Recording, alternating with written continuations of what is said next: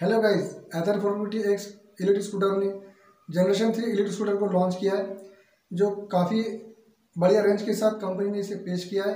Detail video इस channel पर आने वाली है। डिटेल वीडियो के लिए इस चैनल को आप सब्सक्राइब कर दीजिए और बेल को ऑल पर सेट कीजिए।